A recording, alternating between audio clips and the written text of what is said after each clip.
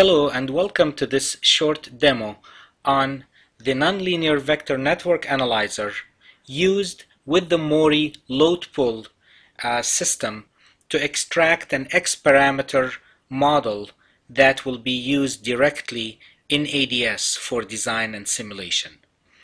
So what is shown here is the nonlinear vector network analyzer NVNA that is hooked up with the Maury load pull system a bias system is shown connected to the NVNA which allow the user to take measurements with different bias. So you can see the input and the output is connected with the Maury tuners at the load, at the input and the output, the source and the load tuners, along with cables and connectors that are connected directly to the device under test. And usually the cable and the connectors are calibrated and de-embedded from the measurement. So once you do this, you sweep the bias, the power, and also you vary the impedance at the source and the load, and you extract all this information. The information is accumulated in an MDIF file. So you have this X parameters load pull data in an MDIF file that is directly transportable or taken to ADS where ADS will generate the X parameter model out of this MDIF file. And once we have the model in ADS, we can use it directly for design and simulation in ADS. Let me show you how. So here is the ADS main window and as you can see there is a project that has been created for this demo. It's PHD demo with Maury load pull project. Let us take a quick look at the MDIF files that have been generated uh, using the NVNA and the Maury load pull and they have been imported into ADS. So here they are.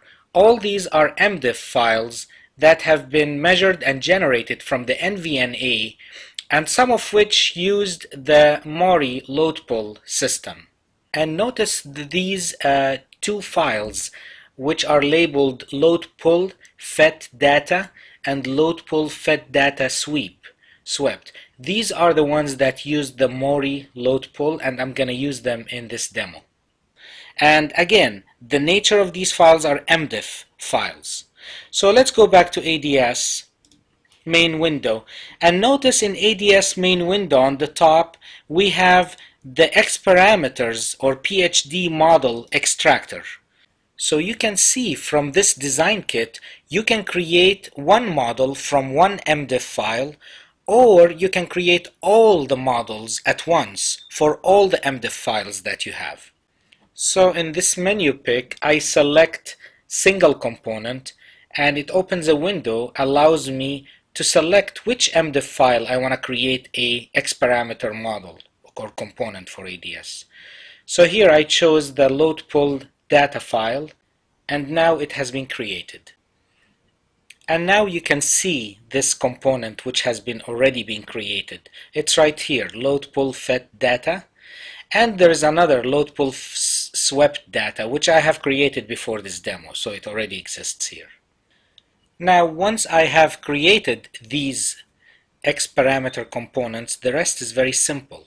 You can go to the schematic page and there is a template already created to do the load pull and power added efficiency simulation. So all you have to do is just bring this X parameter model into this page. So in the project view, I can see those two models I have created. I can click on one of them, drag it, and just insert it in the schematic and ready to simulate. So now I'm ready to simulate to view the power delivered and the power added efficiency contours of this measurement.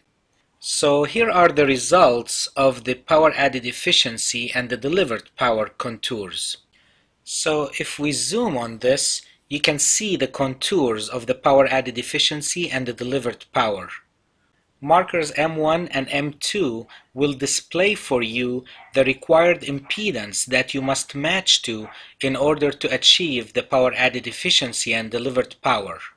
In this window here, the maximum power added efficiency is calculated to be 19.17% and the maximum delivered power is 25.93 dBm.